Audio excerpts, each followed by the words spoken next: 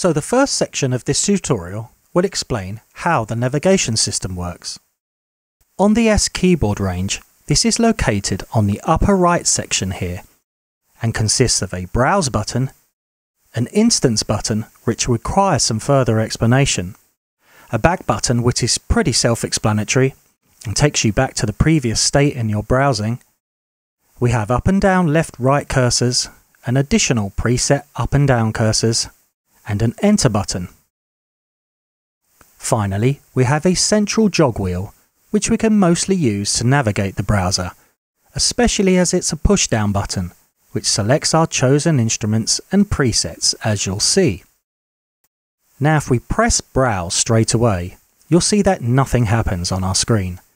And that's because we have to drag an instance of Komplete Kontrol into a new MIDI track in our DAW. Whilst I'm doing this, now is a good time to briefly explain what that instance button is for.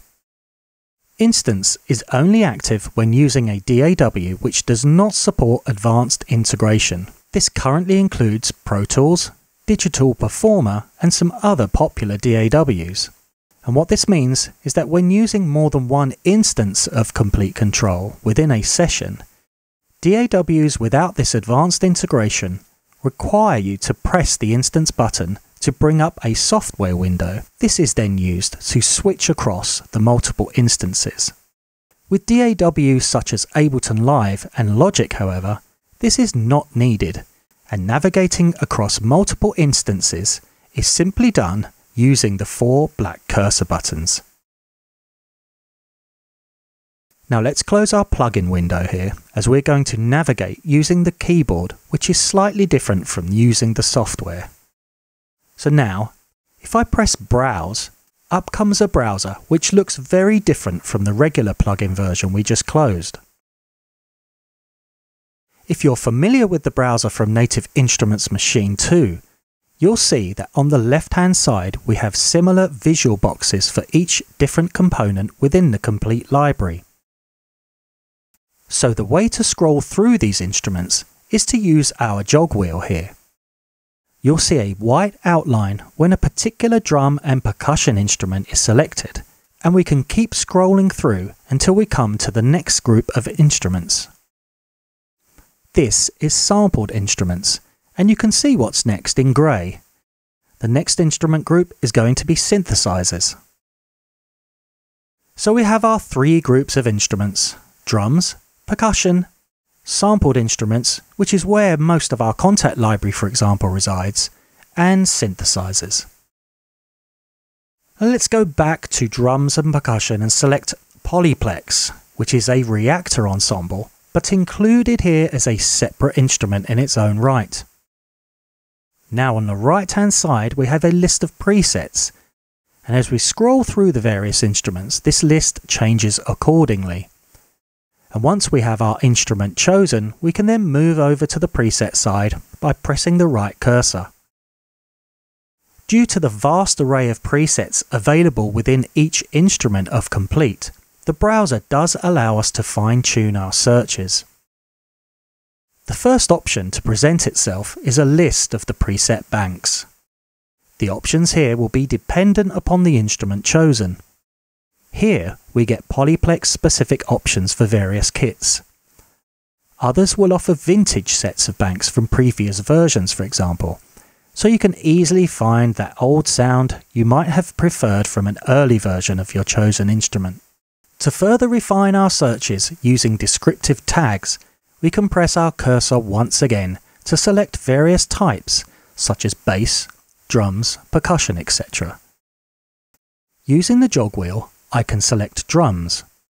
And importantly, once I confirm my selection by pressing down on the jog wheel, another set of tags becomes active to narrow down my search further.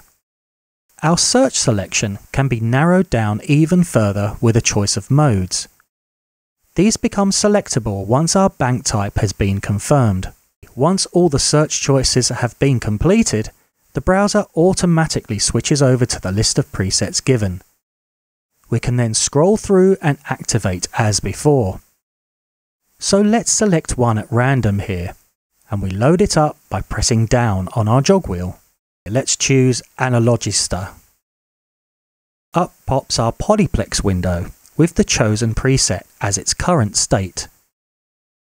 Now if you're familiar with using Polyplex as a Reaktor ensemble, you'll notice that not all the editing parameters are visible in this Komplete Kontrol window. Instead, we have a basic, streamlined set of features. This is fine if we just want to randomize the current preset or not do any heavy editing, but if you want to have the full parameters, we simply go to the top of the screen and access one of the features that is specific to the Komplete Kontrol system. That feature is the plus icon, which simply expands the streamlined plugin window to the fully featured one with the editing parameters of Polyplex all visible. So now we can see our different sample layers, the pitch of each, start position, etc. So now we have an instance loaded, we can use the preset up and down buttons to scroll through our presets. You'll see the preset title in the top bar of the Komplete Kontrol window change accordingly. And the preset is loaded straight away, this is different from using the browser. There is no selecting and then activating using the jog wheel. This enables us to quickly program a beat, for example, and audition different presets very quickly. So I'm going to quickly demonstrate this by programming a simple 4-4 kick loop. And you'll see the presets change immediately upon using the preset up and down buttons.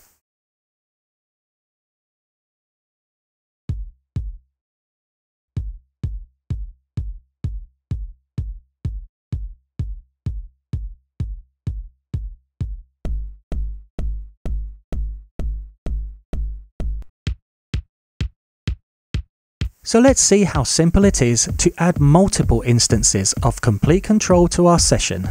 And again, use our keyboard browser to load up another sound to go along with our simple kick sequence. Let's add another MIDI track within Ableton and drag another audio unit's instance of Komplete Kontrol. Let's hit the browser button on the keyboard and this time I want to navigate to another Reaktor instrument called Razor and find a suitable bass sound.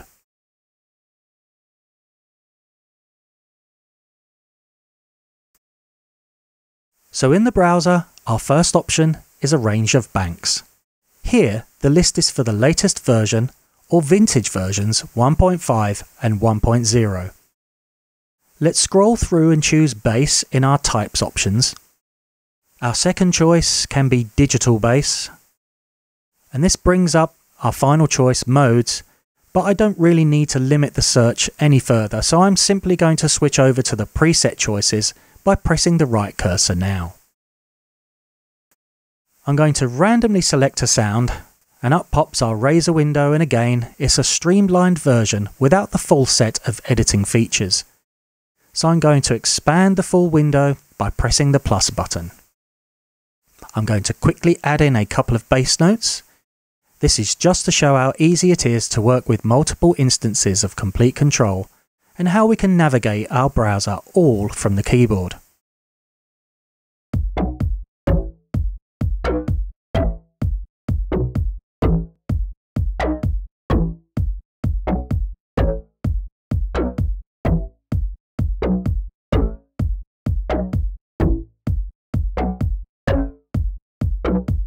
Once we are happy with editing our chosen sounds, we can click the plus button again to streamline our windows, giving us more screen real estate.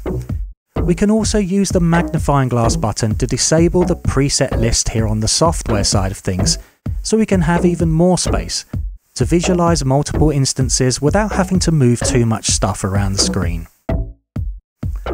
And that sums up our look at the navigation section of the Kontrol S keyboard and Komplete Kontrol system.